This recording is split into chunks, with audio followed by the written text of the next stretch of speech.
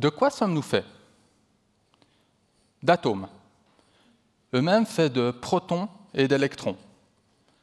Ça, ce sont les briques fondamentales qui composent la matière, tout ce qui nous entoure.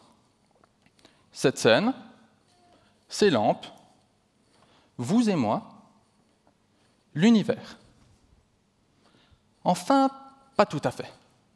On s'est rendu compte que cette matière, qui nous est pourtant si familière, ne constitue que 20% du contenu de l'univers. Seulement 20%. Si on prenait au hasard dans le cosmos 5 cailloux, il n'y en a qu'un qui serait fait de choses que l'on connaît, et les quatre autres sont faits de... Eh ben, on n'en sait trop rien en fait. Et je ne sais pas vous, mais moi, ignorer 80% de l'univers, je trouve ça un peu angoissant. On appelle cette matière inconnue la matière noire. Comme son nom l'indique, elle est invisible. Mais des traces pourraient quand même en apparaître au travers des rayons cosmiques, des fragments d'atomes qui nous parviennent des quatre coins de l'univers. L'atmosphère les bloque, heureusement pour nous d'ailleurs.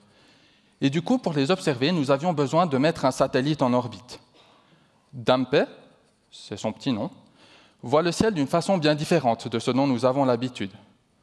Au lieu de la lumière des étoiles, c'est les rayons émis par des noyaux galactiques et des trous noirs qui l'observent.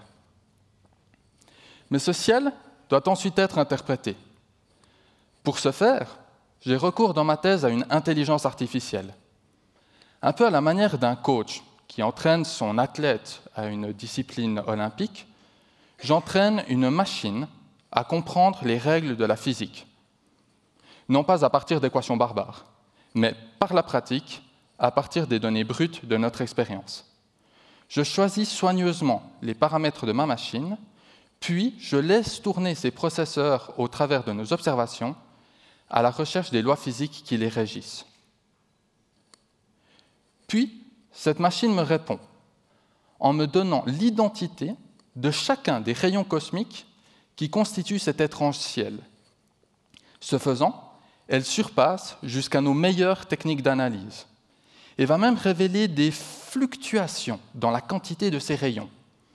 Il y en aurait trop, ou peut-être pas assez. C'est à voir. Ces fluctuations doivent, dans le futur, être comprises pour peut-être un jour lever le mystère de la matière noire et comprendre ainsi de quoi est fait notre univers, notre existence elle-même. Merci.